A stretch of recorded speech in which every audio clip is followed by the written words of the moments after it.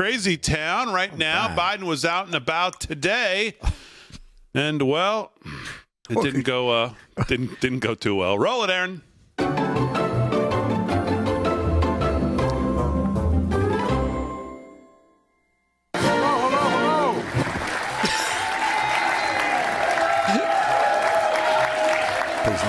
It's like, where'd everybody go?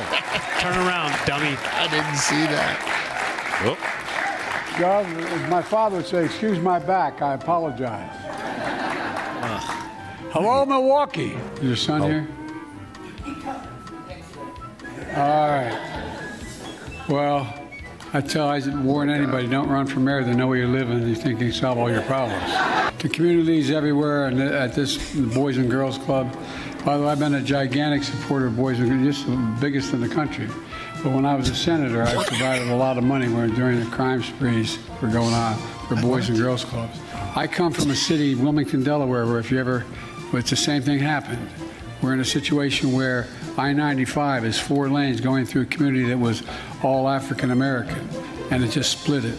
And it's now about 50, 60, maybe 70 yards wide. And I'm, I'm president. I can't get that done yet. Why'd you guys get it first? I don't know. There are also cities all across America where highways used to be. Uh, and they, uh, along, you know, redlining, al- along with redlining, black small business from hotels to jazz clubs to like restaurants like Ray's grandfathers. Today, Sixth Street is a wide road without a, without a protected bike path, bike lanes, or bus lanes. All of this looking people, uh, locking people out of opportunities and leaving them more isolated. Safe place to read and learn. Where libraries who were giving cake, the librarian would give cake to children when they showed up to read. From watching the Milwaukee. Bucks play to attending Milwaukee Area Technical College. And if I didn't mention the technical college, I'd go home and sleep alone because my wife is a full-time teacher at the community college. Yeah, of course she is. Y'all think I'm kidding. I'm not. You know, I, I've been very involved for a while. I know I don't I look like I just arrived, but I'm. But all kidding aside, I didn't realize, even though I was deeply involved initially in the civil rights movement that got me involved to run for the first place. Liar. Back in December, I was in Milwaukee and met with a plumber named Rashawn, who owns it. Is he here? Who? All right. The community's too often left behind. We're, we're rebuilding. We're rebuilding the roads. We're filling in the cracks in the sidewalks. We're creating spaces to live and work and play safely.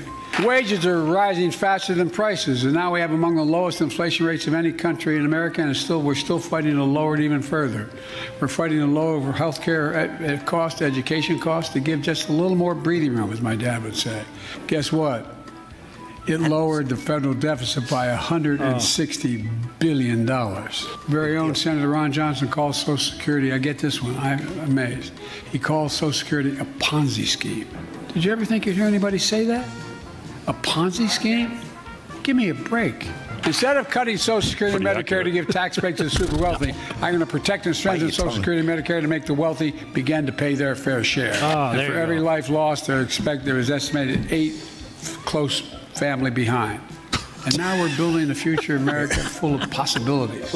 building an economy from the middle out and the bottom up, not the top down. Not the top That down, top down top stuff, down. not a whole lot landed on my dad's kitchen table growing up. Yads. Look, Egads. our plan is working. America's coming back. Oh yeah. And that's why I, I swear to God, I've never been more optimistic about America's future than today. Things are going to change no matter who's president in a big way. They're going to change much for the better or much worse. Wow. There's nothing beyond our capacity. Oh, here's going to yell. I I mean it sincerely. Think about it. There's nothing beyond America's capacity if we do it together. And that's what we're going to do. May God bless you all. and May God protect our troops. Thank you so much.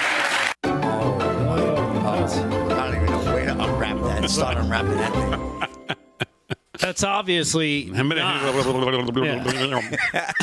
that's obviously What was the not the, libraries? uh, All of a sudden, he's in a, he's on he's on I ninety five. Then he's in the library. I, I, I man, that's not the State of the Union cocktail he had this morning. wow, But man, oh man. He, he mixes it up now in these speeches. There's times where it's like, uh, and then it's the. There's times where it's just. yeah, exactly. Wow, they must have had him shot up with some stuff for that uh, last week's uh, address, man. Oof.